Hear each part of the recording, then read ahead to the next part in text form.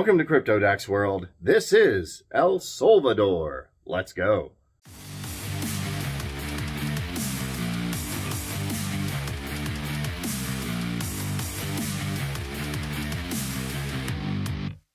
Everybody needs more soul. That's where El Sol is all about. We are going to El Salvador or El Salvador. Hey, guess what? Solana is the official currency. Let's go.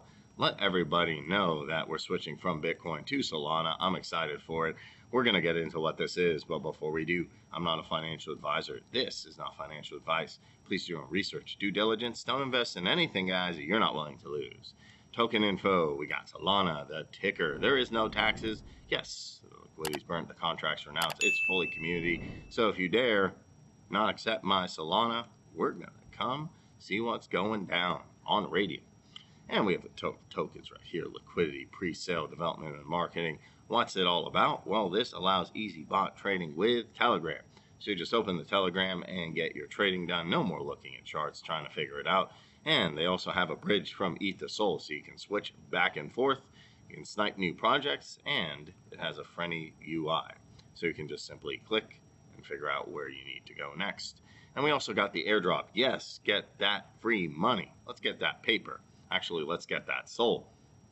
So 10% will be distributed to El Solvador bots, and it takes the place over four months. We can see how it works from 1% to 2 4 in the fourth month, and is calculated according to your own trading volume.